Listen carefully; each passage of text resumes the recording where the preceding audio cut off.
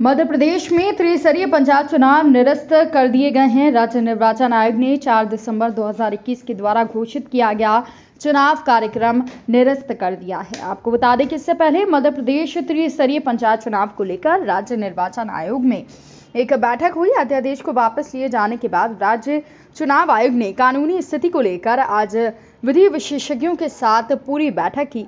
शिवराज सरकार के द्वारा मध्य प्रदेश पंचायत राज और ग्राम स्वराज संशोधन अध्यादेश को वापस लिए जाने के बाद उम्मीद जताई जा रही थी कि त्रिस्तरीय पंचायत चुनाव सोमवार को स्थगित या फिर रद्द कर दिया जाएगा।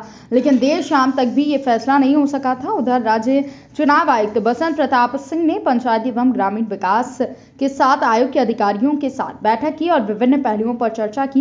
इसके बाद विधि विशेषज्ञों से की राय से निर्णय लिया गया। आयोग के सचिव बी एस जामोद का कहना है कि चुनाव को लेकर कोई भी फैसला कानूनी राय लेने के बाद ही लिया जाएगा।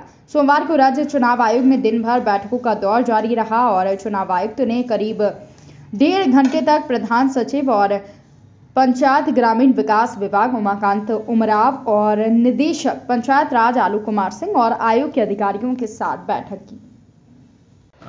ऐसी स्थिति में ये निर्वाचन प्रक्रिया निरस्त कर दी गई है। सर जो अभी पंचायत के जो चुनाव चल रहे थे उनकी प्रक्रिया में क्या जिन्होंने फॉर्म भर दिया है या उनको लेकर क्या कोई देखिए पूरी प्रक्रिया ही निरस्त हो गई है। ऐसी स्थिति में सारे उम्मीदवारों की अभ्यर्थता भी निरस्त हो गई है और जिन्होंने अपनी जो निक्षेप राशि जमा की है, वो राशि वापस प्राप्त करने के लिए वो दावेदार है।